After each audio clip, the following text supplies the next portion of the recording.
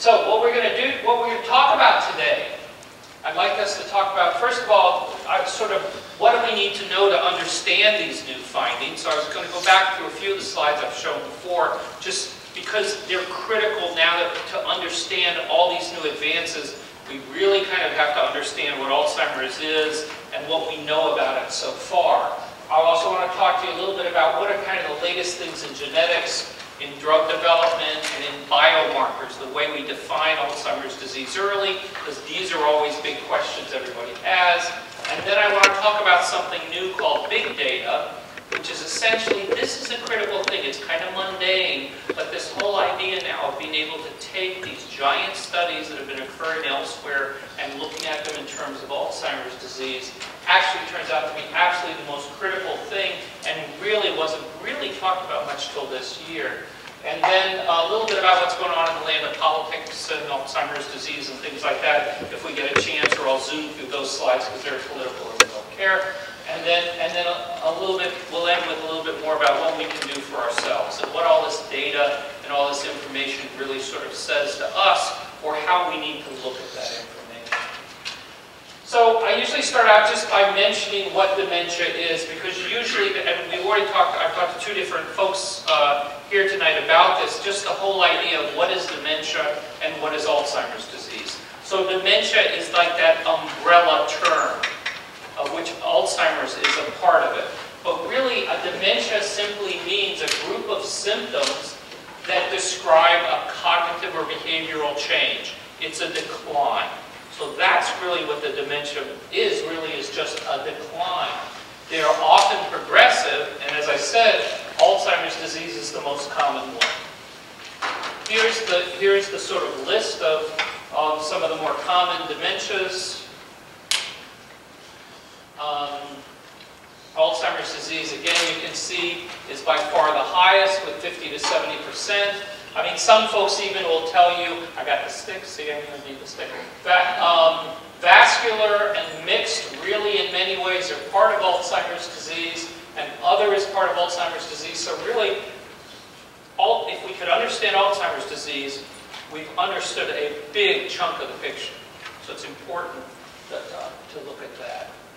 Alzheimer's disease, classically, symptoms occur after age 65. It has insidious, gradual onset. Memory loss, early memory loss is prominent, usually, often the first sign, but not always. There's preserved strength, coordination, gait. Those, the motor skills are all preserved.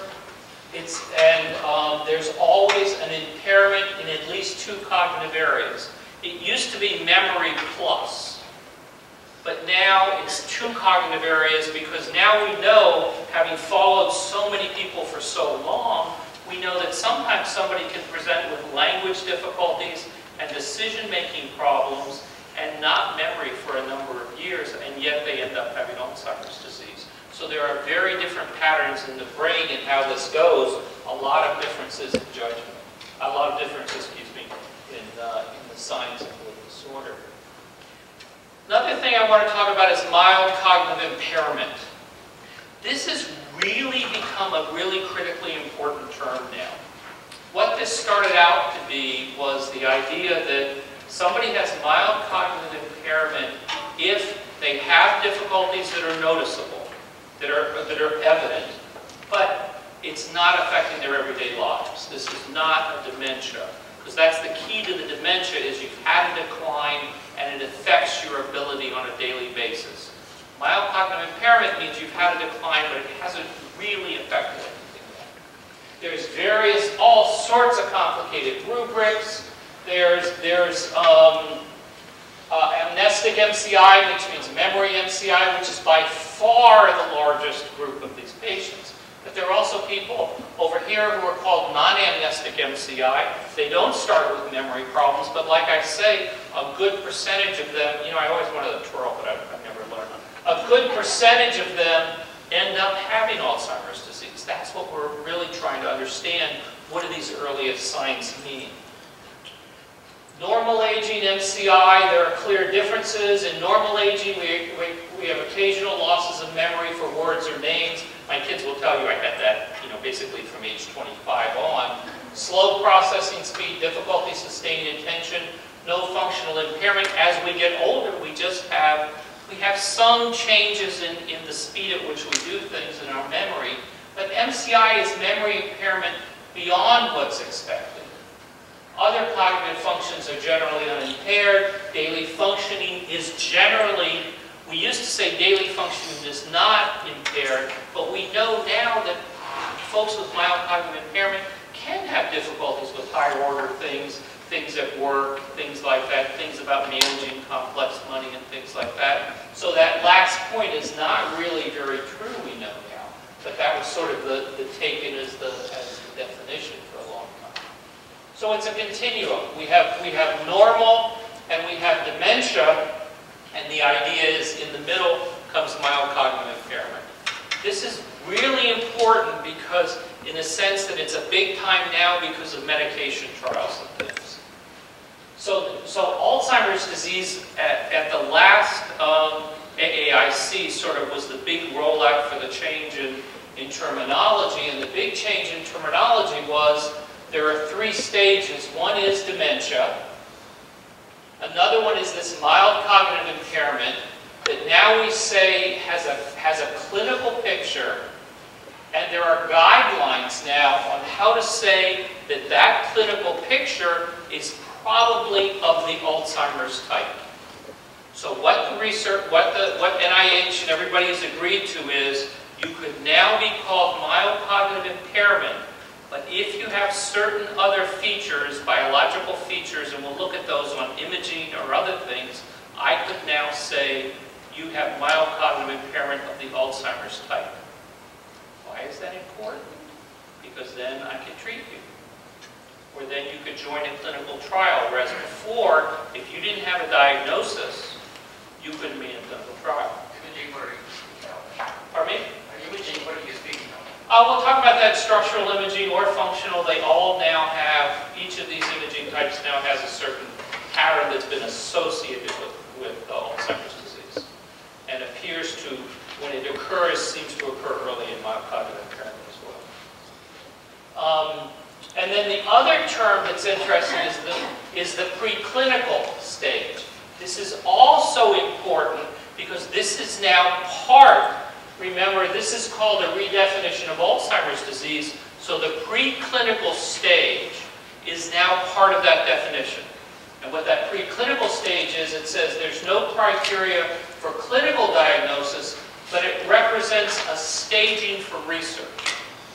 So the idea behind the preclinical stage is that I can't see any cognitive difficulties necessarily, but there are brain changes going on, and I know those are associated with Alzheimer's.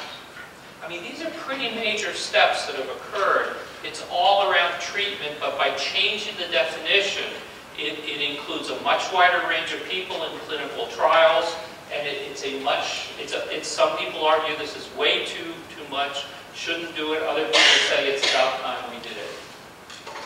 So preclinical Alzheimer's disease, and the reason why I'm talking about this is because this comes up in clinical trials now. Preclinical Alzheimer's disease is measurable changes in biomarkers that indicate the earliest signs of disease before symptoms are even noticeable. It's consistent with the current thinking that says if you have brain changes that are of the Alzheimer's type, you will probably develop Alzheimer's. Not necessarily, but probably. And it's no clinical criteria. Again, there's no clinical criteria for this. The whole idea is there is no clinical evidence that we know of for this, but we can apply certain research standards and imaging or biomarkers, what we say, and, and suggest that. What, what, what's it similar to? It's actually very similar to if you have high cholesterol. If you have high cholesterol, you get treated. If you have high blood pressure, you get treated. But you may not have any other signs of heart disease that's, that's where they want Alzheimer's to go. And that's where, where the field wants, wants, wants Alzheimer's to go. So let's also stop and just talk and, and kick through a few of the facts about Alzheimer's disease just so that we see the extent to which this disorder is significant. Sixth uh, leading cause of death in the United States. 5 million Americans are living with the disease now. One in three seniors dies of Alzheimer's or with Alzheimer's disease. In 2012, 15.4 million caregivers provided an incredible amount of unpaid care, which is part of the, part of the issue with this disease. Nearly 15% of caregivers for people with Alzheimer's or another dementia are long-distance caregivers. They don't live next door, they don't live in the same house. And in 2013, Alzheimer's will cost the nation 2.3 billion. The number is 1.2 trillion by 2050. So I always like to say, don't listen to the senators talking about Medicare, Medicaid, and breaking the bank and this. This one disorder itself will break the bank unless we find, find a solution to it. That's why suddenly there's a lot of interest in this in Alzheimer's, in, in, the, in the Congress and things.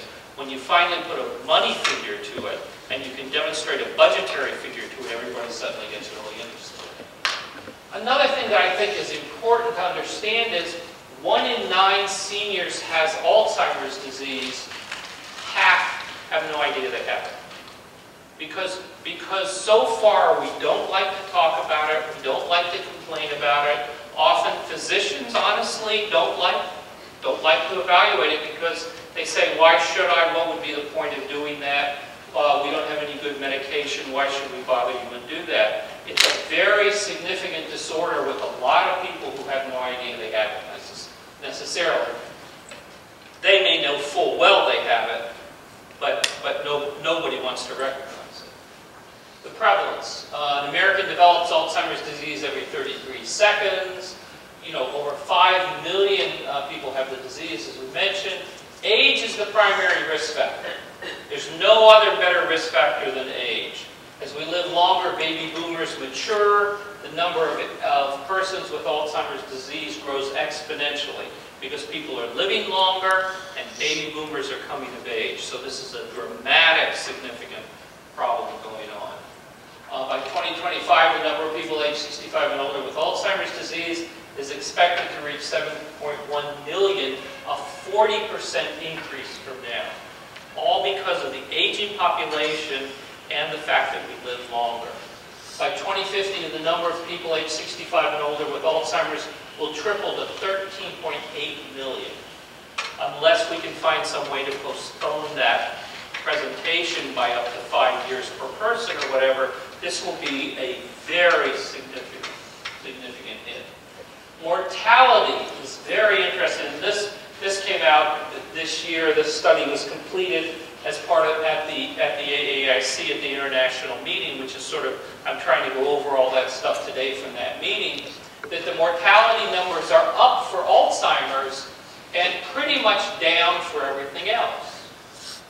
There's, and why is that? Why should the, the numbers be so different for Alzheimer's compared to everybody else? Why should the numbers go up? Because, of course, people are getting older and getting the disorder. And also, frankly, because you wonder where the money goes. Think about the successes in cancer. Think about the successes in heart disease. Think about the, the successes in HIV. The other half of me does a lot of research in Africa with HIV and the cognitive difficulties that that, that brings out and how to treat HIV. I can't thank you enough for, for you know, this chunk of the pie, but the other half of me is furious that Alzheimer's disease has so little. But again, we're back to the fact that people don't like to talk about it, people don't want to deal with it, and, and that's, that's a serious problem. And that problem comes out in terms of that little tiny slice of the pie that, that, uh, that goes to where the, the issues are. Now, the other thing I just want to talk about also, I just want to mention is again, is something everybody here should know, but the impact on caregiving is just tremendous. You know, there are 15.4 million family and friends providing 17.5 billion hours of unpaid care for those with Alzheimer's. Uh, care is valued at, at, a fortune. 80% of care provided in the community is provided by unpaid caregivers. I know because I'm one myself. I mean, we just see this as a dramatic, dramatic uh, hold on the society. Nearly 50% of caregivers are long-distance caregivers, And we know that long-distance caregivers pay more and often have more difficulties than those even within the same household. But the emotional stress of caregivers. This year at AAIC at the International Conference, there was a lot of data presented about more than 60% of AD caregivers rate emotional stress as high or very high in caregiving. 33% reported significant symptoms of depression. And very telling in this, caregivers had 9.1 billion in additional healthcare costs. One of the studies that came out of one of, one of the folks in my group was really looking at what happened, for example, to caregivers of, of individuals with mild cognitive impairment. What happens to a family when somebody has been identified as having mild cognitive impairment? Actually, it turns out the use of additional resources for health, the use of additional dollars is about the same as if somebody had been diagnosed with Alzheimer's. We found very few, if any, differences between those two. So even mild cognitive impairment, where somebody is no longer functioning as effectively as they used to, can have a significant effect on the family. The cost of Alzheimer's disease, we've already sort of talked about, is astronomical. 30% of people with Alzheimer's disease and other dementias are on Medicare and Medicaid, compared to 11% of people without those. So the strain on the financial situation in the country because of Alzheimer's disease is significant, and in particular it's significant for Alzheimer's, not compared to other disorders. So it's a, it's a big, big chunk of the Medicare Medicaid pie. So once we've talked about how significant this disease is, let's talk a little bit about what it is so that we can understand where we really sit on this. The, the classic sign of Alzheimer's disease are things called plaques and tangles. So these are healthy cells. So these are cells in the body. Cells communicate with each other electrically, sort of the little lights. The, the electrical synapses. When I want to move my hand to, to, um, to open up my Diet Coke here, which I have to have with me at all times, um, don't, drink, don't drink too much Diet Coke, it's really bad for you. But me, you know, I enjoy it. But the, when I move my hand that way, that's a set of electrical impulses, right? It's a simple set of communication across cells from my brain down to my fingers that says move and flick that button. In Alzheimer's disease, you see these characteristic changes to the brain in which you get things called plaques, which is this sort of mushiness in the brain, this sort of roadblock in the brain, and you get tangles, which are these um, misshapen cells. See the difference? You get these, this, the shells misshape themselves. So that's the classic sign of what's called plaques and tangles. And what do those plaques essentially do? Those plaques essentially stop that simple electrical transmissions, right? You can't, you can't make these simple little connections anymore, frankly, because there's that big blob in the middle. And one of the studies that, that, was done at the University of Michigan recently showed, for example, that those big globs bump into the cells themselves and harm the cells. So, so how those... Pardon me? You talk about it, the electrical now. Is that tangle, is that interrupting the transmission down the nerve, or is it interrupting the neurochemical jump? It's, it's both. It, it intercepts the, the, the the chemicals are not produced effectively by the cells, so the neurochemical change doesn't occur, and then the transmission through the cell is disrupted because the cell breaks apart. So you really get both. You get an effect of both. And, and, and so I want to spend a little more time on this just to explain it. And I've shown these the past couple years. I've shown these cartoons because I really like these. Um, but they really tell the story about exactly what's going on, and we need to understand this story in order to understand what's new. Because all of treatment basically resides on this story. So, we have these cells. We all have these nice brain cells, and they all have coming out of them something called APP, or, or it's a precursor protein. It's a type, it's the, essentially the protein, the precursor protein that feeds the cells. So the cells sort of grow this essentially, and these things come along called enzymes that cut this sort of food growing out of the cells so the cells can digest it. But what happens sometimes is it gets cut the wrong way. It doesn't get cut small enough, it might get cut too big or it might get cut in the wrong place. And we know what happens is we get clumps or, or something they call oligomers. But we get these plump, clumps of beta amyloid plaque that occurs. So these clumps start to occur. Remember those fuzzy things that I showed you on the actual pictures before? Same sort of thing. We get these plaques forming, and the plaques form because normally when you get that, that precursor protein, that, that amyloid precursor protein up there, you normally get alpha secretase comes along and cuts it into nice chunks, and gamma secretase comes along and creates essentially the nutrients that the, the, the, that the cells need. Essentially, it, it develops the proteins that the cells need to exist. Okay? But what happens sometimes is if, if your brain is full of beta secretase and not alpha secretase, or your levels of beta secretase have increased so much that they now overshadow the alpha secretase, they come along and cut it at the wrong spot. And when it joins with gamma secretase, rather than making that nice protein, it makes a beta. It makes plaque. Make sense? Simple thing, big, big problem. But understand this linkage, and we have we have a way of potentially solving the problem, or at least so everybody hopes. The other thing that happens, we know, is that as those plaques and tangles form, now there's a lot of discussion about chicken and egg and which comes first, and we won't get into that too much, but as those plaques and tangles start to form, as those plaques start to form, the cells themselves react. Whether it's a, a inflammation that occurs within the cells as, as if the cells are fighting to get rid of those plaques. But whatever happens, happens, and what, what occurs is that the very cell structure itself starts to fall apart. So you get these, you get these microtubules that essentially are the things that communicate from cell to cell, and what happens is their very cement starts to fall out. Tau. Tau is what forms tangles, essentially. The tangles are the dying cells because the tau, where the cement, has fallen out. Why exactly it happens or when it happens is still a little bit of a discussion. Everybody thought they knew everything and now they're not so sure as usual, but still the point is tau is the central piece to those tangles.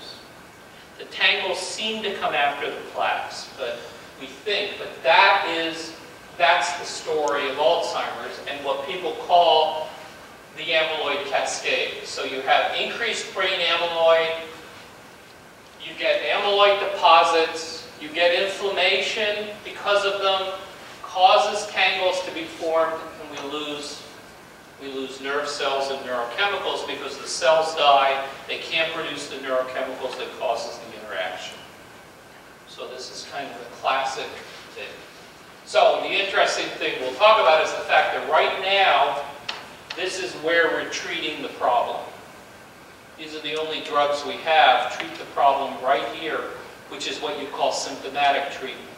We're taking away, we're, we're enhancing cells transmitting, we're trying to keep cells hanging around a little longer, but so far, not so sure if we have anything up here. But wouldn't this be the place to intersect, if we could? A lot harder than it looks. Incredibly easy in mice, but people, are just so confusing, it's irritating.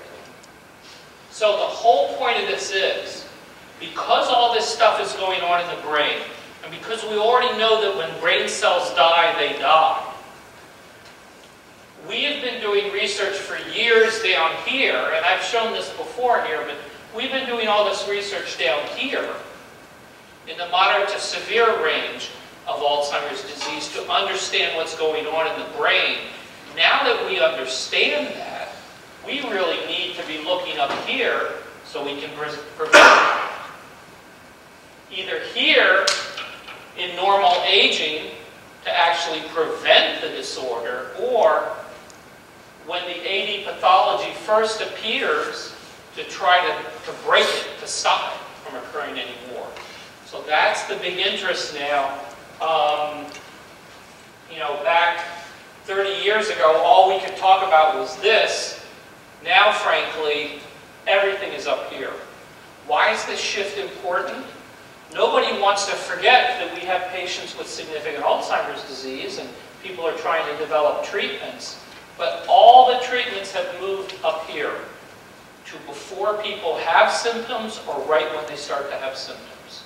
So this is where all the interest is, and this is only in the past two years, maybe past year, and we'll talk about why that is in a minute, why this has become such a hot topic. So, I want to talk about clinical trials, because clinical trials, the research we do is critically important. Some of you may want to take part in it, uh, you may have loved ones who you want to take part in those studies, but I want to kind of give you a sense for what that means. What is it that researchers deal with all the time? What is some of the jargon? You'll hear about it because then you can make a little better, better decisions about it or participate in one way or another. So first of all, a clinical trial is basically a study looking at the effectiveness of, of a diagnostic test or the effectiveness of a treatment. But there are different types of clinical trials, and these are the terms that people use. They call them diagnostic studies, in which there, there, there are um, studies about new tests to diagnose the disease. There are treatment or clinical trials that are what we're really interested, very much so in Alzheimer's disease, which are testing new treatments or new combinations of treatments. There are prevention trials, which here is where everybody is suddenly interested prevention trials. Can you prevent the disease before it even occurs? Are there ways to present, prevent the onset of the disease? There are also screening studies that we do, a number of these at the University of Michigan, looking at ways to identify in a large population of people who might be at risk. Why are these screening studies important? Because if you can do really good screening, you know who to put in prevention trials. If you can figure out ahead of time who might be most at risk, you can put them in a prevention trial before they even have a problem. So screening studies are really important. Quality of life studies are important as well, just to understand when someone develops Alzheimer's disease, what are the things that make a difference? I can tell you, I was just at a meeting in Washington at, at, at NIH and the government where there's a lot of discussion now about something that should be rather obvious, which is researchers should stop telling people what's the best way to evaluate a drug and actually talk to the people involved. It really is important. So for example, when I do a study on Alzheimer's disease, I'm going to use the Wechsler memory scale or the Buschke selective reminding test. And one of the folks in the meeting pointed out that actually if I ask the caregiver, does this person ask the same question less and can this person tolerate when you leave the room for more than five minutes? I might have a much better drug cure. You know, so there's a lot of discussion going on about that, in particular around quality of life studies showing us maybe what we should be asking better questions when we evaluate these drugs. Phases of, of treatment studies. This is, this is really important because this is the way you get a drug to market and all the different studies going on now that you'll see if you sign up for Trial Match um, through the Alzheimer's Association or, or if you get asked to be in different, different studies, there are certain types of these studies and, and you should understand this jargon because if somebody says, oh, I want you to be in this study, you need to make a choice between phase one, phase two, phase three, and so on. So a preclinical study is basically a laboratory-based study. Usually may, may or may not involve animals. My wife works, uh, used to work for Pfizer when I was still in Ann Arbor, and they used to do a tremendous amount of research just on the computer. Things that they would have taken years to do by animals, they can just do by mimicking what the results would be on the computer. But those are preclinical trials are supposed to tell you, does this drug look like it might not harm somebody? Then comes phase one trials. We used to do a lot of phase one trials here, which are always with health, or usually with healthy people. It's the very first thing that goes on. Usually you take some healthy volunteers and you see what is this drug that we're pretty sure doesn't hurt people. What does it actually do if you give it to somebody? Also, for example, what happens if you give it to somebody and they decide to drink some alcohol? I know, by the way, if you want to sneak alcohol into somebody's drink without knowing it for sure, Michigan is the best place to do that because Michigan has Vernors. Uh, warm, fizzless Vernors will hide the taste of anything. I can tell you that from years of phase one trials. I can put any amount of vodka in there and, and the folks won't know. Sorry, I don't want you to go out and do that, but, it, but it's just, those are phase one trials. Though it's actually important for phase one trials because what if you do have an alcohol interaction? That needs to be known before you ever look at it with, with people. Then phase two trials. These often involve a few hundred people, and it provides further information. And this is a group done with patients. This is the first time, so phase two trials are the first set of studies done with patients. Never a whole lot of people, and it's just more trying to figure out what dosage might work. Does this actually look like a drug that we could use with patients and so forth? Way back 30, 30 or so years ago when I was at Mount Sinai, we did a phase two trial of a drug that has now become Aricept, but in its earlier era, it was a drug you had to take every 45 minutes. Well, it was real clear from the first phase two trial we did that that was the dumbest idea we ever had, because you can't take it 45 minutes, but we had to do a phase two trial to prove it. Phase three trials, these are the standard trials that you really are looking for, that everybody wants to do now. These are the big giant trials. So these are large-scale trials, thousands of people may be involved, usually at multiple sites around the world, to be able to show what it's like to do this with a large population of people across different sites. And we'll talk about one of those trials in a little bit. The phase three trials are probably the critical trials because these are the ones that do safety. And sometimes the government says, I want you to do phase four trials.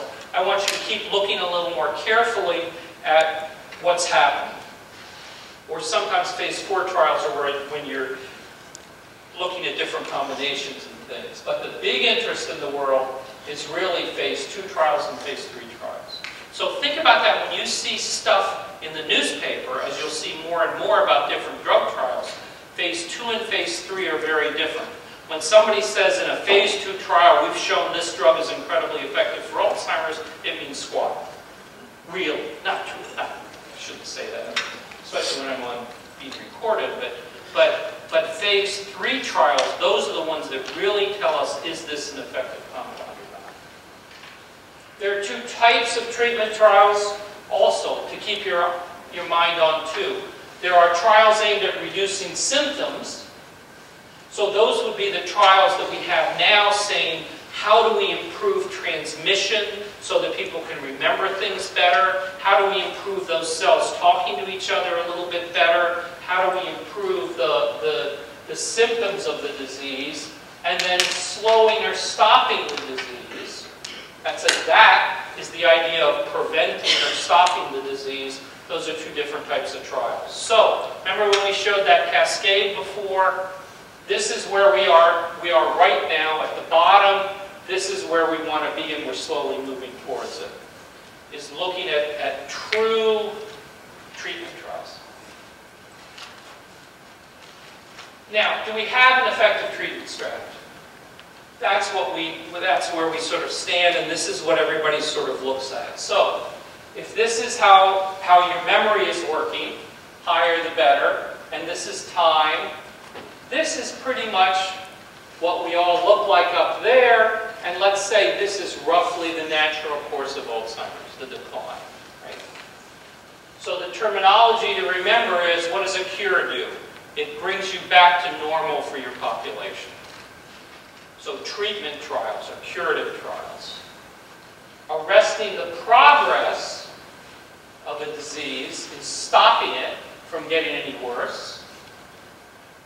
The ideal time, of course, is a prevention trial before anything happens, right? this is where we are right now on symptom trials, which means the person gets better for a while, but eventually it stops working. Eventually the plaques and tangles get to be too much. So if, I, if I'm treating someone with uh, Aricept to improve the cholinergic system in the brain, to get these cells to interact a little better, eventually the Alzheimer's will take such a toll that Aricept won't be effective anymore. There won't be enough cells to transmit. Same thing that happens in Parkinson's and cinema. Eventually, there are no more dopamine-reactive cells, not to the same extent, to be able to function. It may take years and years, but it still happens. So, now I want to cut to what I was asked to talk about, which was AAIC 2003 in Boston. I had more fun talking last year about France but actually in some ways they didn't do nearly as much stuff in France. In some, well, they did a lot of stuff in France, which is more than they did the year before, but uh, Boston there was a lot to do. And luckily I found this one little lunch place that had wonderful fish, this little tiny shack right by the place so I could eat apple leaves, so it's very nice. So, the first thing I want to talk about is the, is the one really complicated thing I want to talk about, but it's worth talking about because this is a, a model that everybody talks about is the Clifford-Jack model. So the Clifford-Jack model is the model that underlies everything we talked about a minute ago. Remember we talked about those plaques and tangles forming because the, the, um, the, the proteins don't break down things right and everything. So what the Clifford-Jack model says, or back in 2010 and 2011 said, was you get this giant upswing in plaques. And then a little while later, you get these tangles that start to occur. And then you can see those tangles and you can see those imaging. So that the brain essentially fills full of plaques, which things like a PET scanner we'll talk about in a minute, or spinal fluid, A beta measures, measures of the amyloid in the brain, which show us changes dramatically earlier. And then all these other things like memory and the size of the hippocampus and other things lag behind. But if we could interfere with the plaque, we'd be, if we could interfere here, for example, we get things before things get bad. Right? That is what we want to do. Let's stop that cascade before it happens. Now things, this is essentially the same picture, but it's a little bit, it's a little bit more confusing because it turns out, remember there was that amyloid in tau, but then the tau people got mad because they said we go first, and the amyloid people said no, we go first, and there's a lot of arguing back and forth. And also people started realizing that rather than having one little line for cognition, cognition changes is is a wide open thing. Some people show big changes, other people don't. So the green line for cognition got really wide depending upon if you have some risk factors or if you don't. That makes sense. So in other words, it's still the idea that this is a measure of amyloid in the, in the, in the CSF. This is a PET scan that we'll talk about that measures plaques in the brain. And these are these other parts that start to change too. The size of the hippocampus, the size of the, of the use of energy within the brain, but that essentially we're, we're looking at that change over time with these guys still going, but maybe not so dramatically as before. Researchers sort of suggesting that, that it's sort of gradual along all ways, and you, you start to see these plateaus. Now the only difference was that somebody pointed out, has been pointing out that, and it's a complicated thing, is that tau, remember those, when we talked about the tau that falls out of the cells that's so critical? It turns out that lots of people have tau in their brain. So it could be, possibly, that this tau, signified by this blue line, that may go very early on, but doesn't pop up here till it interacts with amyloid. So now there's a lot of rethinking of this and the role of tau and the role of amyloid. But these pictures, they're complicated, but these pictures, but it all, the idea is everything is sort of a gradual slope, but the amyloid, the CSF, the tau come first before you see the behavioral signs, before the brain changes, before even maybe imaging, some types of imaging pick it up. You get these changes in the brain, so again, we're back to the fact is if you could interfere there and make a difference, you could make a difference. So another thing that came into a lot of discussion at, at the AAIC meeting, which last year here I glossed over, because frankly there wasn't that much more information out there about genetics. Now the genetics issue has exploded, is the whole role, what is the role of genetics in Alzheimer's? So we sort of know two things. There are sporadic, late onset, people who develop Alzheimer's in their 60s, and there's a very small group of people who develop it very young, in their 30s and 40s.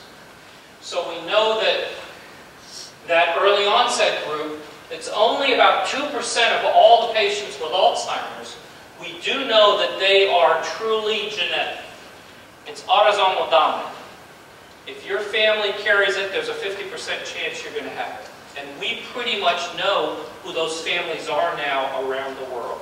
Because everybody worked so hard over the past set of years to figure that out. It was a thing called the DIAN study. It was really funded to a great extent from the Alzheimer's Association, which was to say, find the folks who seem to have, who seem to develop Alzheimer's early on. Because if we could find them and understand what's going on, we could treat them. We could treat them before they have all sorts of other problems like atherosclerosis and heart disease and other things. They might be the perfect group for us to start with. So we know that that group is very heavily related to genetics, but we also know that the majority of other folks, by far the vast number of other folks who develop Alzheimer's disease, may have some genetic factors. Now we're learning more and more that there's much more genetics involved, but that other things are going on. There's something at play in the environment. There's something at play that's triggering that change early on. So, when you hear about genes in Alzheimer's, these are sort of the genes you, you hear about. These are, the, these are the, the four genes that everybody talks about. Amyloid precursor protein gene, which was, which was discovered in 1987. It really is the gene that, that, that started a lot of the interest in Alzheimer's. Presenilin 1 and 2, which are the genes that cause, that we know cause early onset Alzheimer's.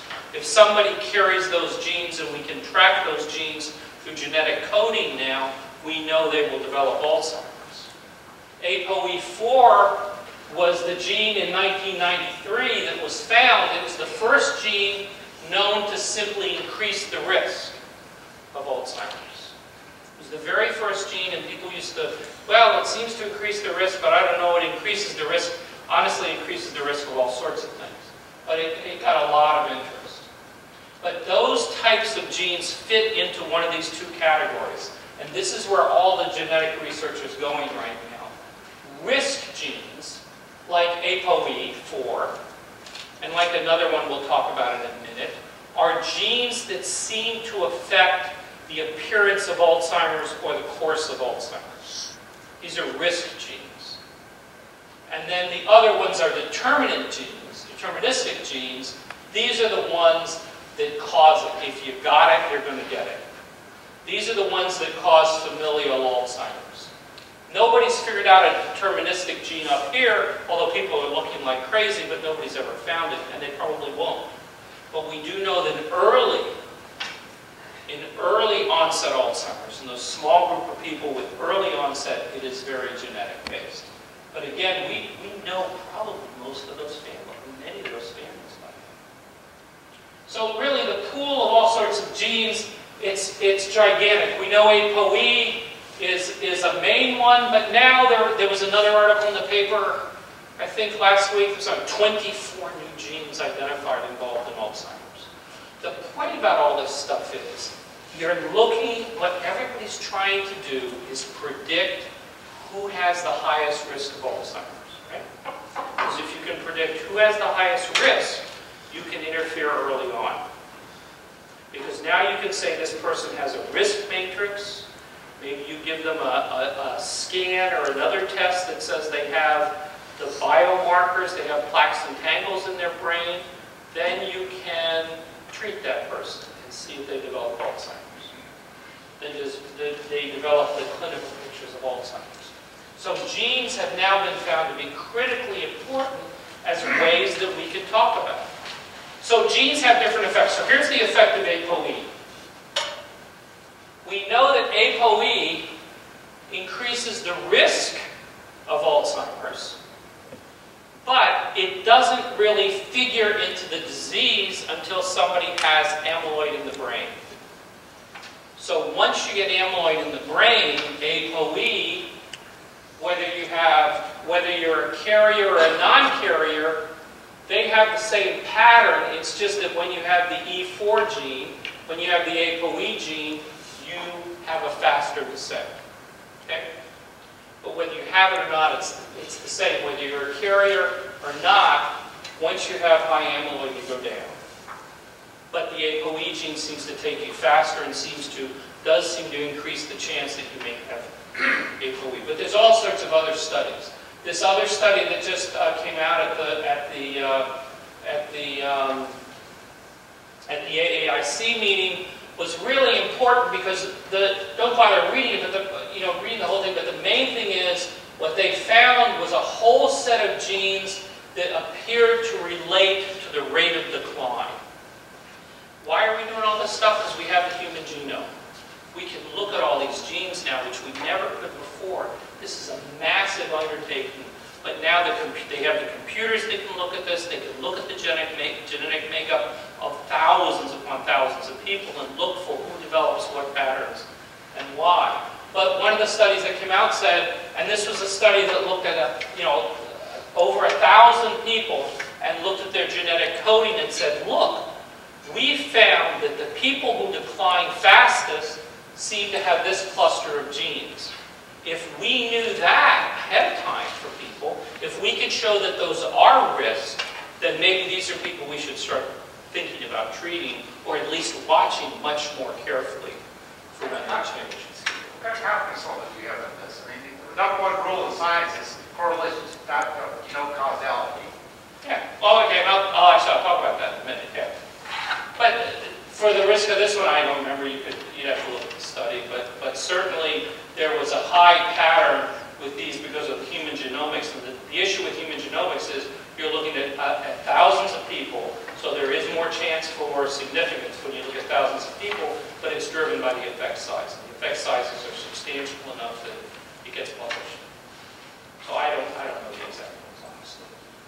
Well, I'll just say, you know, there's a lot of genes on the same chromosome, so. you know, Yeah. Could have, you could say this animal is right here, and blonde hair is up here.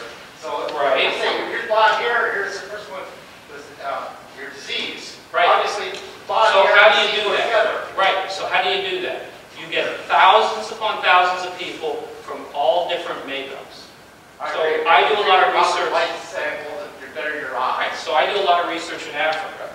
I had a whole bunch of my friends in Alzheimer's shocked last summer because there was Bruno in my little grubby clothes, you know, hanging around in Africa, and they all showed up in their suits because they wanted to start a genetic group with, with, the, with the African, with the folks in Uganda to try and get samples for the GWAS code.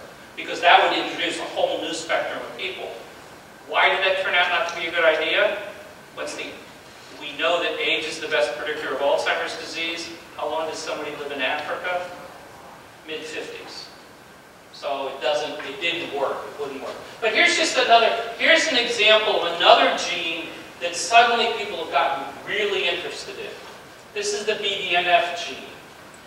There's a lot of interest in BDNF hormones, but in one of the genes that affects it, there's a lot of interest because it looks like people who carry the gene, once they have high data, they have high number of plaques, noticeable plaques, not high number, noticeable plaques in the brain. Having that BDNF gene really seems to drive them quickly downhill. So again, it's all of this stuff is the thought or the association thereof, back to your issue, that these things seem to be related. but you can't check it, you can't do it until you do a prospective study ahead of time. So we'll talk about that, but that's where a lot of these things are going. So let's talk, I want to talk a little bit about, because folks always ask me to talk a little bit about what are the new drugs, and where, what, what's going on in, in, the, in the drugs, in the sort of where we stand with drugs and things. And, and these are the drugs we're using now for Alzheimer's disease, right? Somebody's going to wave at me at some point, right? Oh, she is up there? I'm never going to see her up there. So then we'll just ignore her and I'll just keep talking. So these are the top, these are the drugs we have now: Tacrolimus, donepezil, rivastigmine, and galantamine, and and uh, memantine. These these. These are the drugs that we're currently using and we've been using for a long time. And this Tacrolimus is the drug I was studying back in the 70s. You know, so these are have been there for a long time, but unfortunately, they're again, they're just helping us along with the symptoms. We still are looking at the new drugs. But there were some interesting findings with these new drugs. Because all of this is back to the point. What success, successful prevention has to mean we have to move this drug line way back here to be able to prevent the disease. And the, the other thing is that what we're finding is, for a lot of these studies, in the past we've said, okay, we're only going to do the study on somebody with moderate to severe Alzheimer's or mild to moderate Alzheimer's because that's the diagnostic category. But what people are beginning to say is, look, it's like Parkinson's. People have already lost those cells. The amyloid is already up there and done its damage. We need to intercept early on. We need to be down here providing drug trials. So that's where a lot of the research is changing, and that's new this year. A lot of interesting discussion. So what are the targets? The first target is still the obvious target, right? Beta amyloid. People still want to try to figure out how can we understand how to attack that. So a lot of interest in that beta and gamma secretase. Remember those things that were snipping? Suddenly people are going back and saying, okay, we tried vaccinating the brain to get it to throw out uh, amyloid. I talked about that last year, that that was a big interest, was IVIG, was that now we're going to, we, we've got a mouse model of Alzheimer's, and when that little mouse develops Alzheimer's, we stick him with this vaccine, and poof, the brain is clean. Unfortunately, humans didn't quite work. Um, and, and it either created more problems than it did, but there's still research going on, but still it doesn't seem to be the key. So now people are going back and saying, wow, we can't just get rid of amyloid. We need to look at how to stop it from, from happening so that those enzymes are becoming of much more interest. Tau. Suddenly people are becoming much more interested in tau. Aside from most of my friends at University of Michigan are tau guys who think the amyloid guys are all wrong because they say, look, amyloid occurs and yet when somebody has even a lot of amyloid in the brain, they may not show any cognitive difficulties. But once there's tau evident, they go downhill. So how do you guys know it's not really the amyloid, but it's the tau that's doing it? So now there's a, the problem is tau is a much harder thing to look at. Much more complicated, much harder to identify and mark. But now there's a lot more interest in tau. Inflammation. Inflammation for a while, there got to be real interest in inflammation. Then it sort of died away and people were saying, oh, they were trying to take Advil or other ACE inhibitors and things. But now there's a lot more interest in inflammation, in particular because of relationships between diabetes and Alzheimer's disease. So a lot more interest in. And the whole issue of insulin resistance too, the idea that there's something in the way the brain cells process insulin that might be, be associated with dementia, might be associated with Alzheimer's. So these are the new areas where you'll be hearing about people starting to look at the research. So a lot of the drug discussions at AAIC this year, and remember, that's the only conference exclusively for people who study Alzheimer's. It's thousands of people who study Alzheimer's. That's the, and that was those, it was these things, frankly, that were the big issue. And we'll talk about that in a minute because the amyloid studies have been decided upon. They're going on. If the amyloid studies fail, what are we going to do? If the amyloid studies don't work the way they haven't worked till now, first of all, are the drug companies going to still be interested in doing studies? And how fast can we say, okay, we, we need to look at some of these other ideas? So these other ideas are where some of the studies are going on. I need to re I want to mention the IVIG before. This was an immunization study that was done using mouse amyloid dependent, trying to, to essentially force the brain to get rid of the amyloid on its own. The initial studies that were presented at last year's Alzheimer's Association meeting were all negative, caused the stock to plummet. Pfizer barely survived in some they were part of the biggest uh, um, investor there. But there was some thought that, okay, it doesn't look like it worked, but, but it seems to work seems to work with people who have the APOE4 gene. So in the past 18 months or so since the last meeting, there's been a lot more discussion about this, and people have been on the drug for longer, and it looks like there might be some ideas that, that it might work. What I didn't mention to you, I forgot that I, I didn't put the slide in there, was there's, there's, here's, the, here's the thing about drug studies. Just like back to the issue of, of a whole bunch of genes. We're psychologists, neuropsychologists, and neurologists. We just love to ask a million questions. We just can't get by with one test. We got to add 300 tests. But the minute you do 300 tests or whatever, one is bound to be just by chance turn out. Right? So what the government says is, eh, eh, eh, eh. If you want this drug in use, you give me your primary endpoint.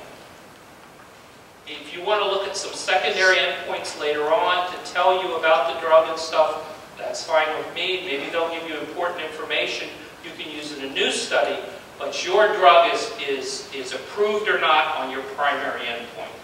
So what happened with IVIG was they had these two measures, ADAS cognition and this ADL, which is a functions of daily living scale, those were the primary endpoints. They showed no change whatsoever compared to placebo. So the drug failed, but now they're going back and saying, well, wait a minute, if I look at certain types of higher level skills, so problem solving things, not just memory, it looks like I may be seeing improvements. The government says, of course, that's nice and interesting, but you got to do another study and say maybe that's what you want to prove. But the other thing is I just came back from some, some meetings in Washington, and the government says, the people who make the decisions in the FDA say, yeah, but you've got to improve memory. Nice to see you improve these other things, but if you're not improving memory, you're not really improving Alzheimer's. So there's a lot of discussion about that. But anyway, the one thing that comes out of all these studies is that an active and an inactive uh, vaccine, like IVIG, does look like it can target amyloid. And it looks like the antibodies do reach the brain, so it looks like it might, these type of things still might be effective, it's just that IVIG doesn't look like it's the one that's going.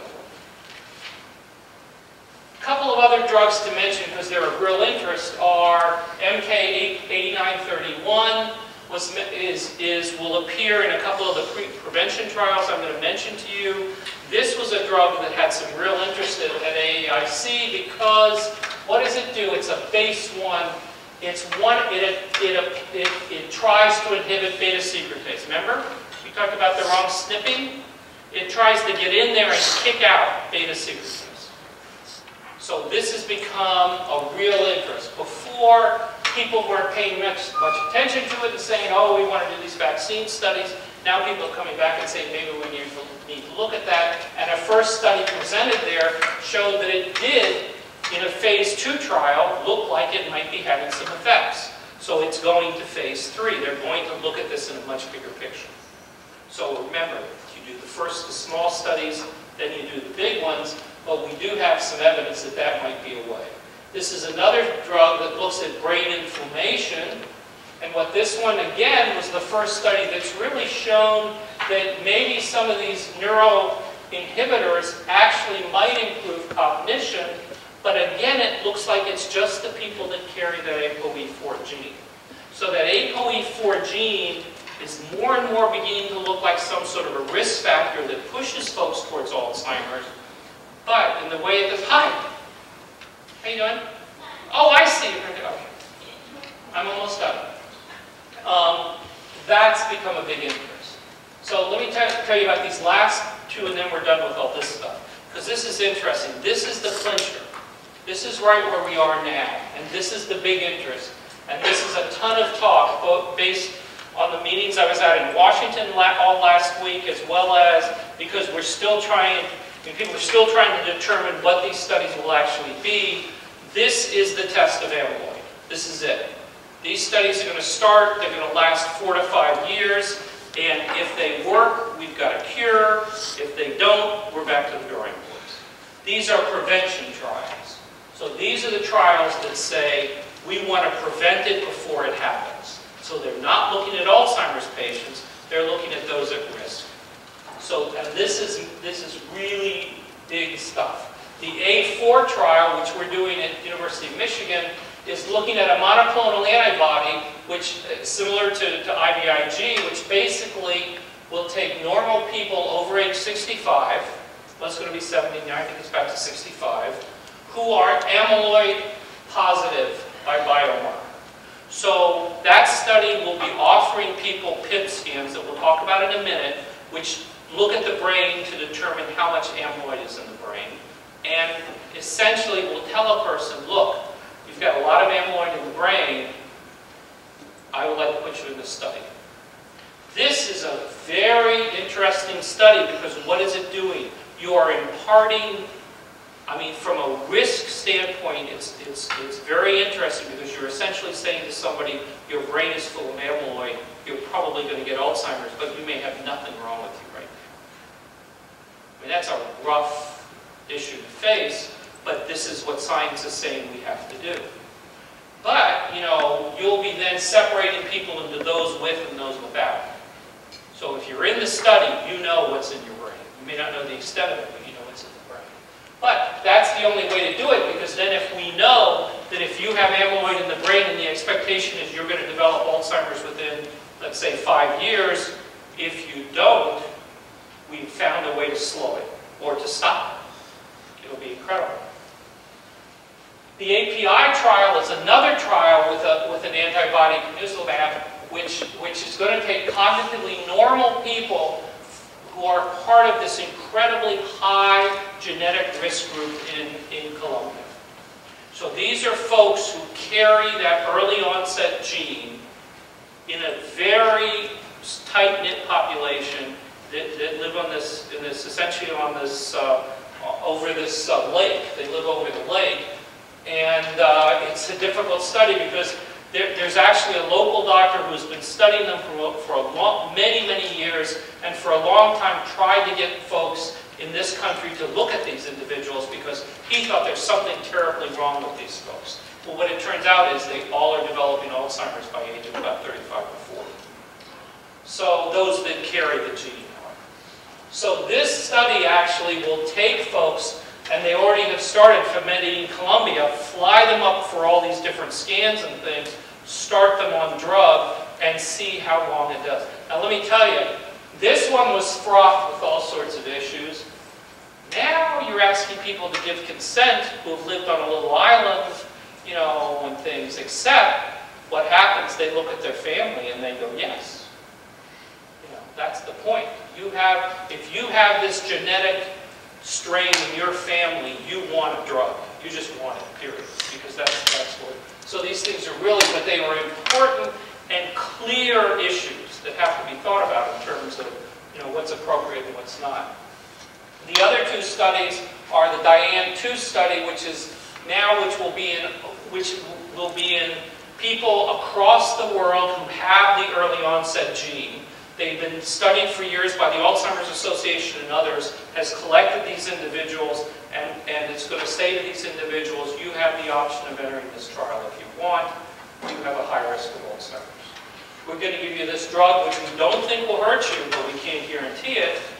But we're hoping it, by, by your age, it will tell us how to do it. And the last study is the tomorrow study, which Kathy Welsh-Bohmer, a friend of mine, is, is running, which is looking at, it's interesting because this is one trial that's not looking at, at healthy normals who go on to develop problems.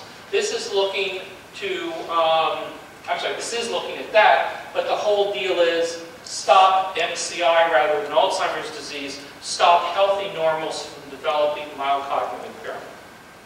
So this is the first trial specifically around mild cognitive impairment. So the endpoint is not dementia, which is in the other trials. The endpoint, the primary outcome in this trial is mild cognitive impairment. And they're using two genes that seem to be at risk, the ApoE4 and the TOM40 genes, that seem to be ones that put people at risk. So again, these are interesting trials, but this is it.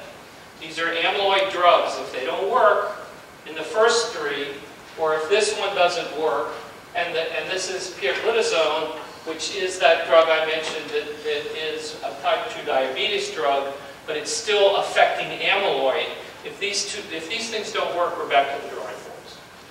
The tau guys will smile, but we're back to the drawing boards. Yeah. Is there an area of the world where uh, there's a significantly decreased amount of uh, Alzheimer's uh, compared to other areas of the world, or is there ethnic population that has a much less? There, there seem to be clusters. So in Kenya, there's a group of people that live into their late, I mean not late, but their, their early hundreds, whatever, 105, 110, and so forth, who don't seem to have, seem to have an incredibly low level. There's a little village in Italy where nobody has Alzheimer's. You know, who live very late in life, so that there should be a significant percentage they don't. So what, there's a lot of people interested in those little clusters. But, but there, it's not a clear pattern of, of why. There's been a lot of interest, for example, in, in a couple of, of tribes up in um, a couple of uh, familial clusters in the Andes, because they have no outside input. They have, they're pretty much set away from everything. So trying to look at their percentages of Alzheimer's. So how do they develop Alzheimer's if they don't have all the lead and all the other stuff floating around too? So some of them as well. I just throw this up right before the break because this got a lot of press recently.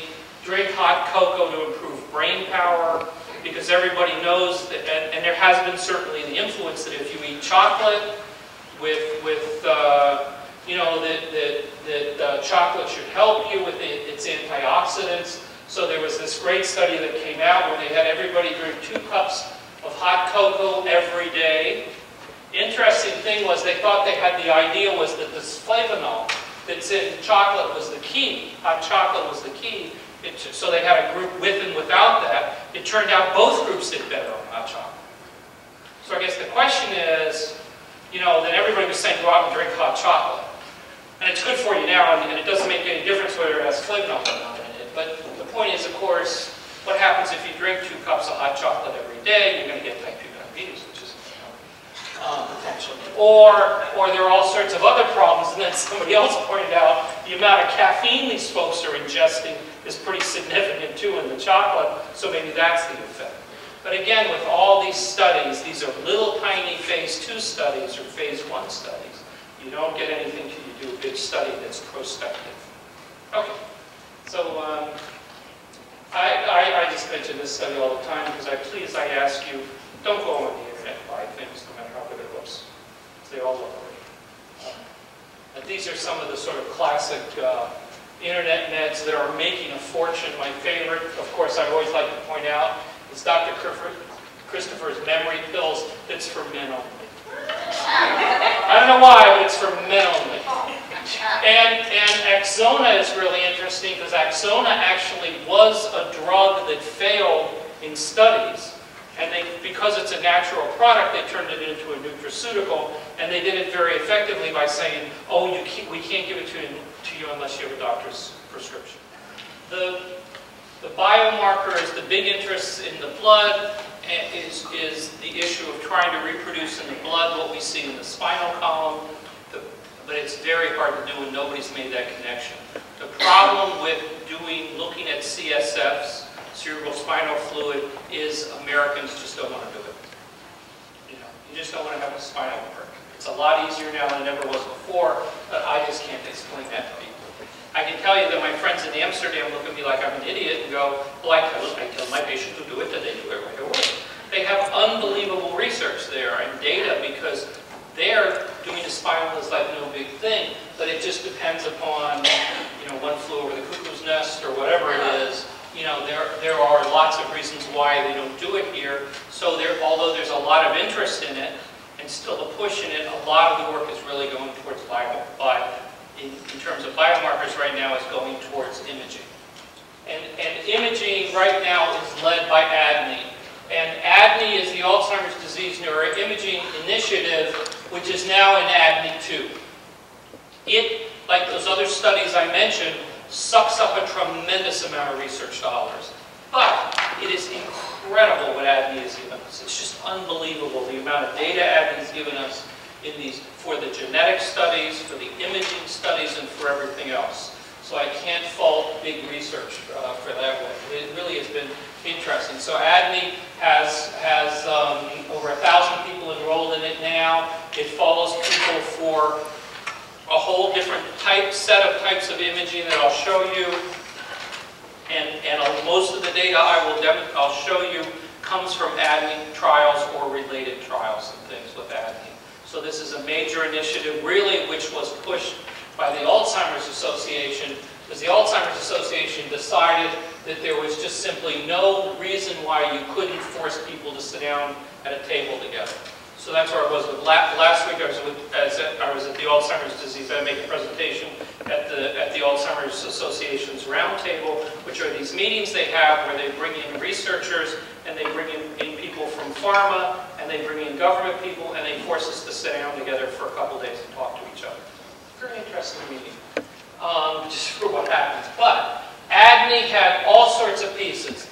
Had had um, a PIB set, which we'll talk about, spinal fluid exceptions. It's now tied directly into the genome analysis and, and, and genome work, so everybody gives blood who's part of it, and all their genetic information is stored. This is a massive study going on across, across, not across the United States, and Ann Arbor's in there somewhere um, up here. So, whoops, that one went by fast, but there we are in there somewhere. Because um, we are an ADNI site and now ADNI is all around the world.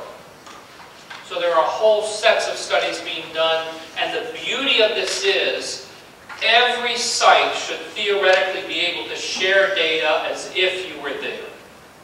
Everybody loves to say, oh, those silly people, they give memory tests. I do the memory test here, and it's not the same over there. But if I give somebody an MRI scan, ooh, I could go to Japan and get the same MRI scan. You can forget it.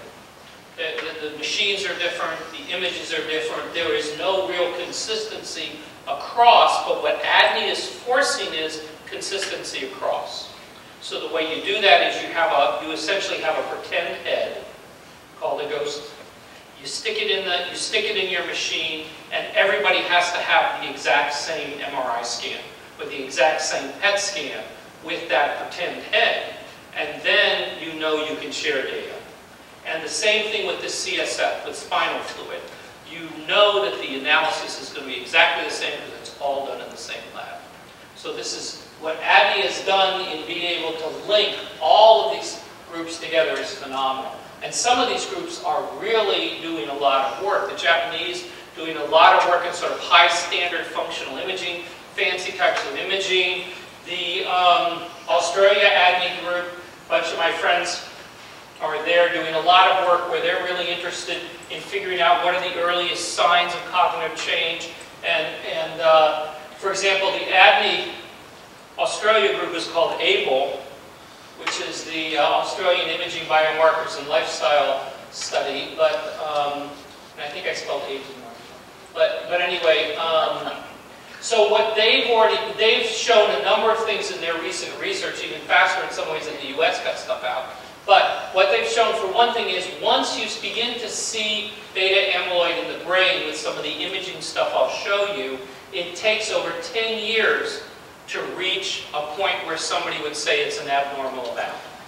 So it's a very slow gain of amyloid, but this is critically important. Then we know it may occur very early on. Remember those crazy little things I showed you, those those signs, those things may occur very far in before they become evident. So amyloid may be growing there a lot of times, and it takes on average about 19 years to reach the level that would be called Alzheimer's. And, and changes in, in the hippocampus occur about five years before you see dementia. So again, amyloid deposit rates among study participants were very similar to rates. This is the most critical thing that one of the most critical things that the AIBL study is doing because there are a number of early onset families in Australia and others that they've looked at. They're demonstrating that with their imaging, there's basically no difference in the imaging between early onset and the, the late onset Alzheimer's, which is critical, again, to be able to say we can study people with early onset to help us understand late onset. So these are all these, I mean, I could show you this for Japan, I could show you for Austria, I could show you it for the US. The, the ADNI thing is amazing, and it wouldn't be here without the Alzheimer's Association, I can absolutely guarantee you. It wouldn't have been. So, imaging technologies used in Alzheimer's research. You're asking about, about the different types. There's structural imaging that provides information about the shape, the volume of the brain tissue, that's usually MRI or CT. Uh, most of us in here may have already had an MRI or CT of the brain or the leg or whatever. Functional imaging tells us how well cells in various regions of the brain are working by showing us how they use oxygen and sugar and such. And molecular imaging that shows us what happens when we use highly targeted radio tracers to look at direct chemical changes like amyloid deposits in the brain. So it's the molecular ones that are, that are the real key that we want to talk about. But I can show you some of the things in structural imaging. In uh, Alzheimer's disease, there's a lot of interest in brain shrinkage and being able to look at that. Differences between controls and patients with Alzheimer's, you can see the differences in the brain, as well as now being able to say we can use it over time to monitor how the brain changes. And we think that if we find the right drug, for example, we might be able to show that people with the right drug don't show these changes. Now that ADNI has amassed such a large number of people, that we know the standard of what changes are like. So now when we, we do drug trials, we can apply that standard. So the structural studies are really important. Some of the structural studies also have gotten so fancy and so exacting that they can even show intervention changes. They can show changes of drugs. This was a study trying to show changes from normal when people walked in healthy aging as well as in cognitive impairment showing that you can show significant changes and even show them on the structure of the brain that with something as simple as exercise, the very structure of the brain can change. Functional imaging are the PET studies and things I talked about. So these are essentially showing us how the brain uses energy. So structural studies are important to show us what the brain looks like. So it can show us the holes that develop as cells die. Functional imaging shows us what's happening to those cells before they die, when, it, when they stop using energy. So functional imaging is really important for showing us what happens in, in, in the normal course of the disease. So this, for example, is a patient, a healthy control. The more red it is, the more different it is from normal. I mean, the, excuse me, the more red, the more activity. And you can see that there's a slight hardly any changes here. There's some changes from not as quite as much red, but look at the difference in a, in a late Alzheimer's disease. You can also look at a healthy control, a patient with mild cognitive impairment who's not yet diagnosed with Alzheimer's, and a patient with Alzheimer's. What you see here is practically identical here, and yet here, a real difference between the normal and the patient with mild cognitive impairment. So the suggestion that even some mild cognitive impairment patients may show significantly earlier differences in how the brain uses sugar, how the brain uses energy. As a matter of fact, there's a study that, that was done as part of the ADNI study that says that if you do a brain scan of uh, patients with a PET scanner, you may, may be able to say who's going to convert within 6 months or 12 months. The importance of this is, again, is all this work is sort of headed towards clinical trials. If I can predict who looks like they might be changing or who might not, then I might change my sample even more. So a lot of these, having, being able to do these kind of fine-grained things is critically important. And a lot of studies that have now shown that as you become more impaired, more and more of the brain is involved by using less and less energy, you can now track effect of different medications. And as a matter of fact, bapineuzumab was a drug that was uh, studied by Pfizer. An awful lot of money went in bapineuzumab. Again, it failed because its primary endpoints were not reached. It was a million point, well, a billion point one dollars for a study that failed. And yet, you know, when you looked at, at the, the, the um, people treated by bapineuzumab and people not, it really looked like there were some changes. That actually the, the PET imaging showed there were some changes. So again, this called upon questions like, should we really be dumping a drug because its primary thing doesn't work? Maybe we should be looking at, at other things. Now the government comes back to the point of, if Alzheimer's is a memory loss drug, is a drug, you have to show it works. I don't much care what you do brain. I want to see the behavior change. So these are things that are in discussion, addressing issues. PET imaging is used a lot. FDG, fluorodeoxyglucose, how the brain uses energy, tells us a lot about how different disorders occur. This is an Alzheimer's patient showing a characteristic, what's called temporal change. So these are changes from normal. This part of the brain right here is becoming abnormal. This is the part of the brain that deals with memory. And you can see the front part of the brain is beginning to change as well. You can compare that to a patient with frontal temporal dementia, a dementia that just starts and tends to stay in the front of the brain. So you can see that the Alzheimer's patient is beginning to show some changes, but look at the dramatic difference. There's no changes from normal in the back, but big changes in Alzheimer's. This is a patient with mild Alzheimer's disease who's just beginning to show those characteristic changes. Compare patients with Lewy body disease, other types of disorders with, with this type of imaging as it becomes more and more available.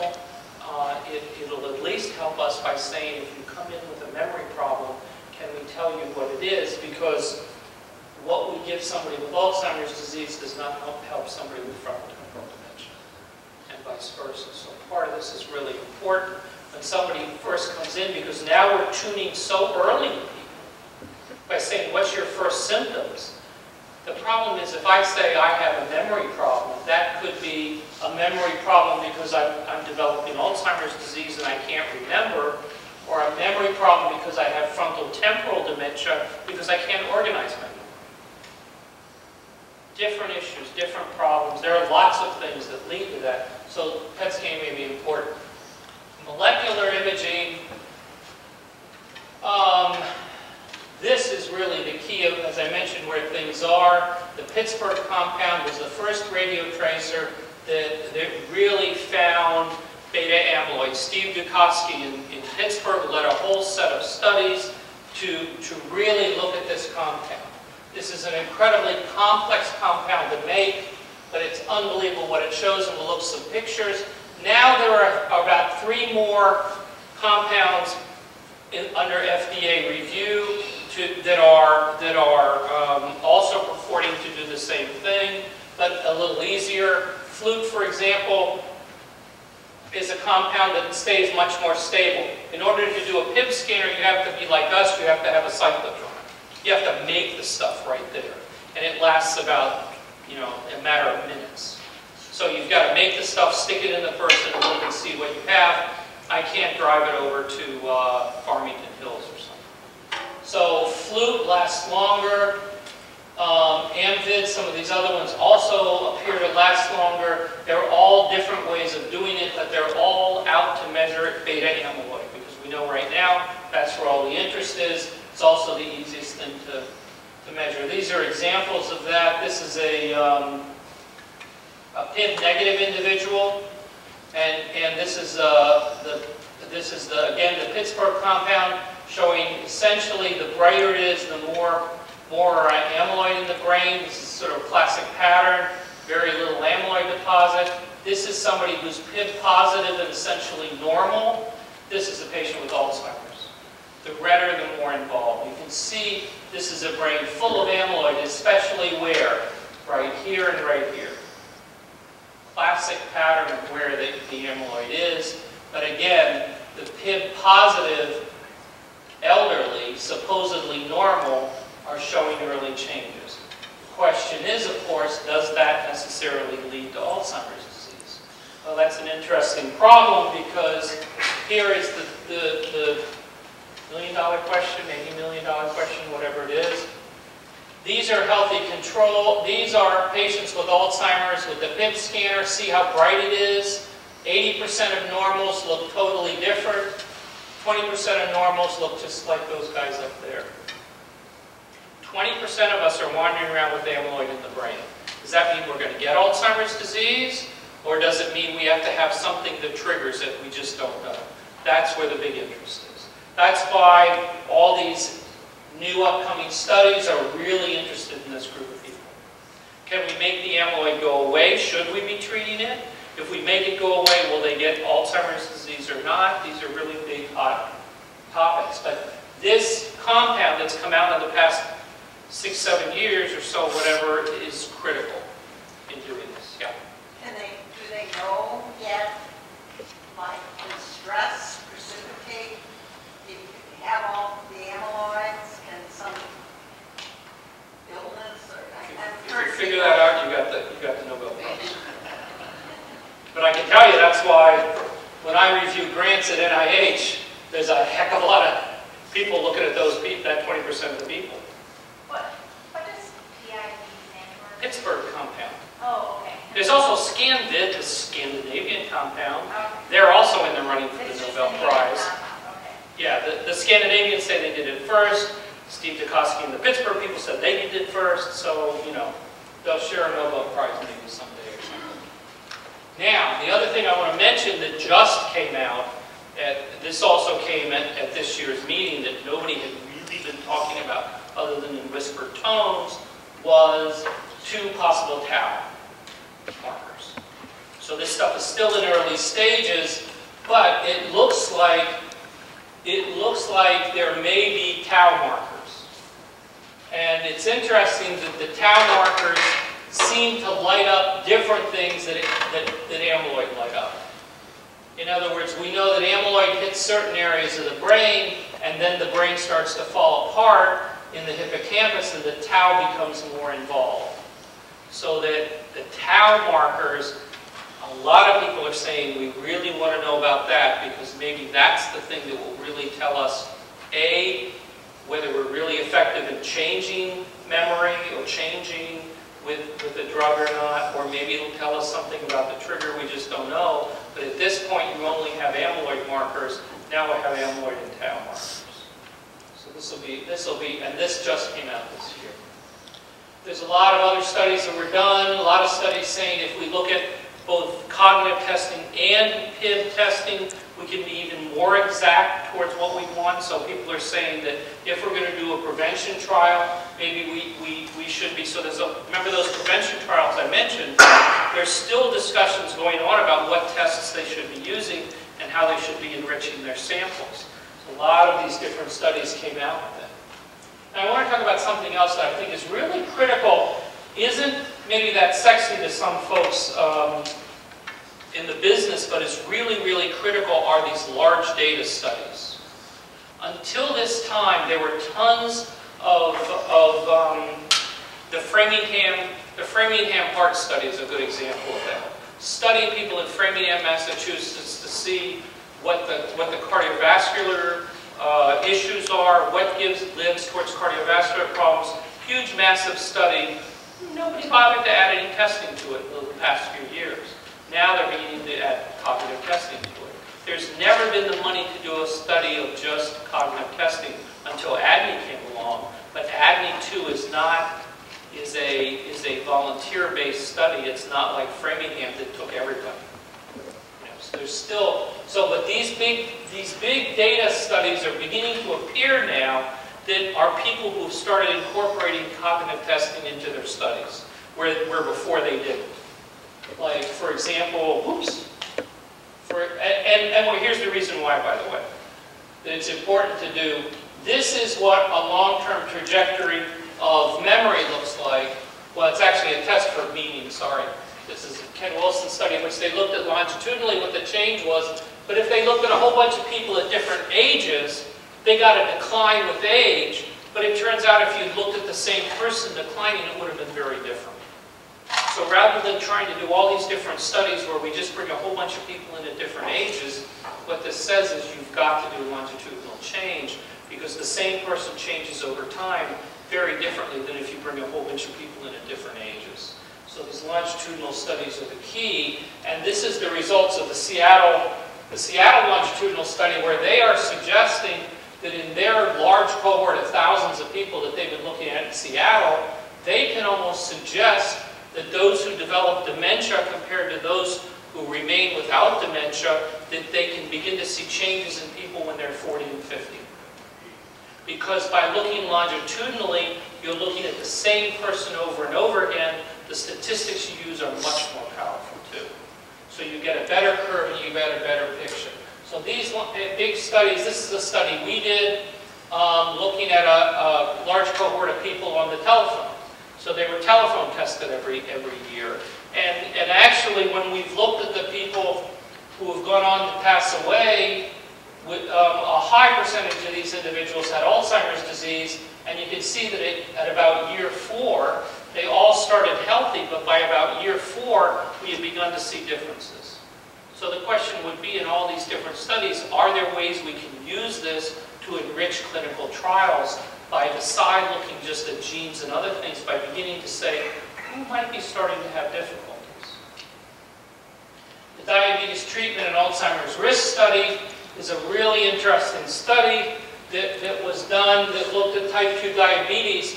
We know that type 2 diabetes doubles the risk of dementia of some type, of some types. We know Type one is, type one. 2 is the one that's been the the key, and I, I don't think type 1 has nearly the same. Like, uh, some, Yeah. Yeah, no, there's, this is type 2, but it's only doubling the risk. It's not really that big of a difference, but it is doubling the risk. But in this large study of type 2 diabetes patients that were on single therapy, they found that it made a difference what drug the person was on. Those taking insulin or TZD had a very different risk pattern than others. So now there's people beginning to say, whoa, we know that. So, so now when you do these big longitudinal studies like this and you follow people for a long time, I mean, we're talking about 15,000 people here, you can suddenly begin to see patterns that really come through as really important. So it may not just be that, that type 2 diabetes increases the risk. It may actually be that that's driven by some factor which is in there that some people are or aren't, or aren't using a certain type of meds. This is, you know, you don't know for sure. These are retrospective studies. Nobody's done a prospective study. But still, there's some suggestion, and all you can say is it's a suggestion that this may be something.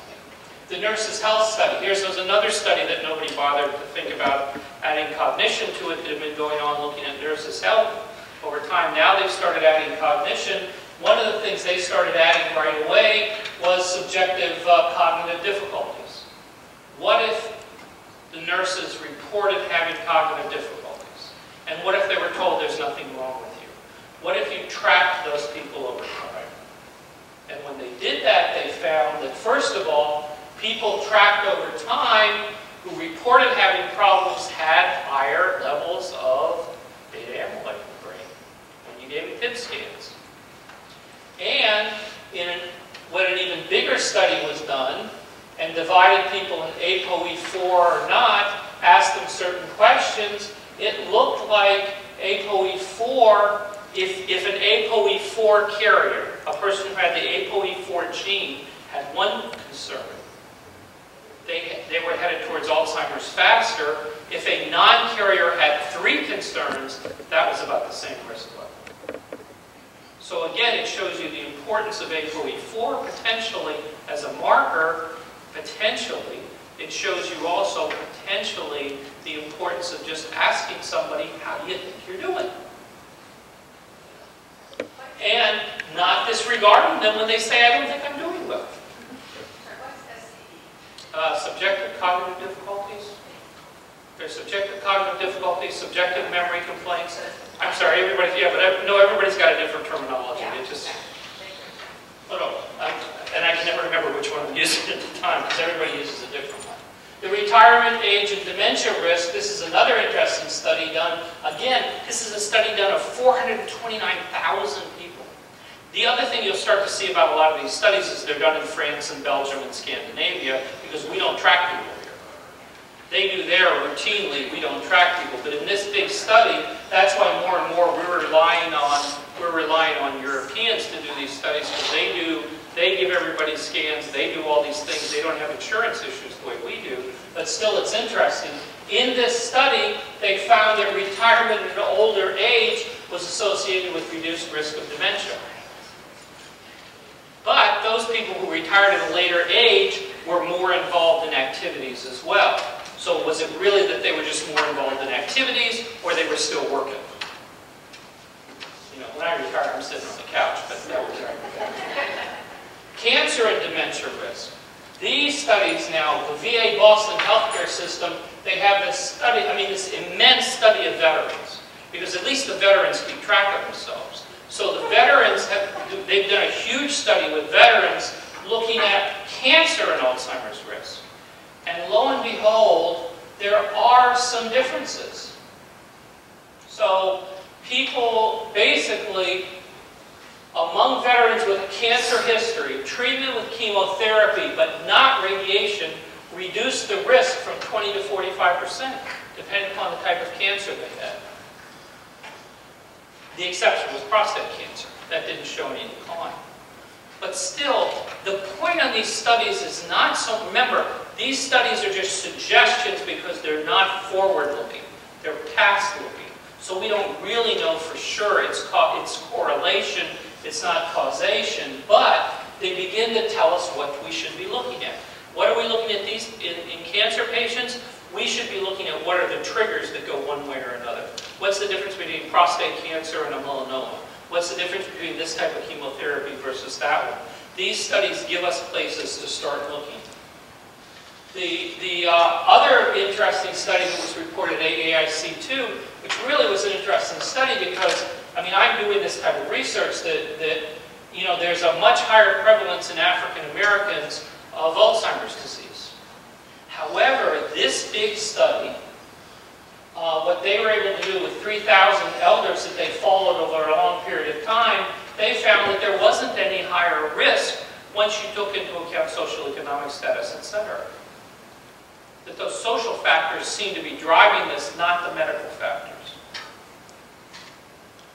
Another study, this is the Brand study. This was also a study of uh, subjective uh, memory complaints that they found that actually if you looked at predictors, so older persons who reported a change in their memory were almost twice as likely to be diagnosed with MCI or follow-up over, I think it was an eight or nine year course, six to nine years.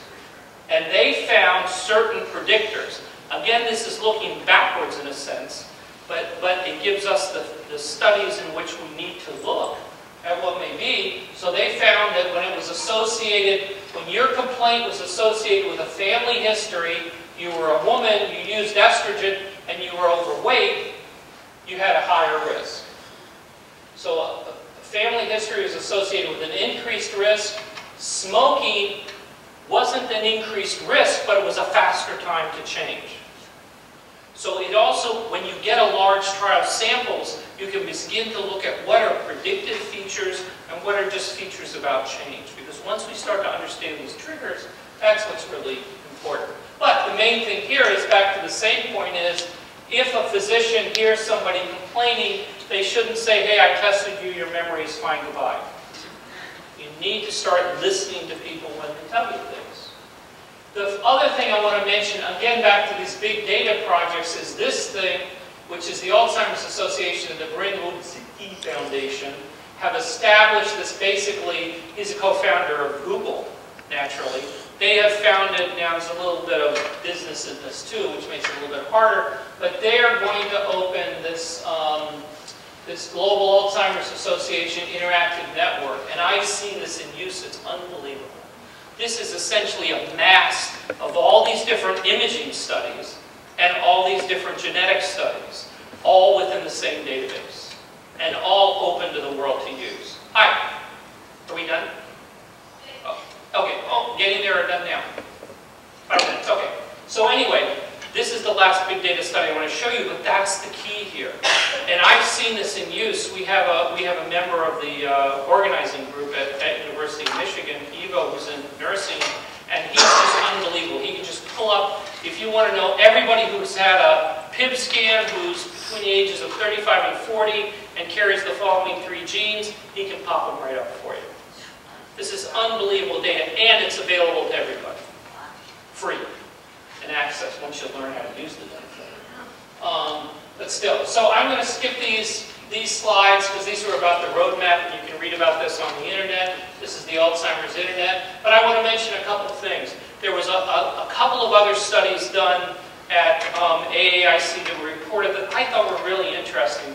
Studies that were combinations between the Alzheimer's associations and the Alzheimer's centers in their area in terms of looking for ways to assist families. The dementia, the San Francisco Dementia Support Network set up these caregiver aspects, all these things, all these different studies. This one, the Partners um, Dementia Care Study, the um, Learn One More study, all of these studies were developed from the, the local Alzheimer's associations and local universities in trying to get more information out to patients and more information out to their general physicians to say, you need to do an evaluation. Once you do that, you need to understand the importance of it. And then also setting people up with care assistance if they were diagnosed with dementia. Remember, as I said, only half the people even know they have it. So part of these systems were all about how to get used to this large group of people we're going to have with dementia.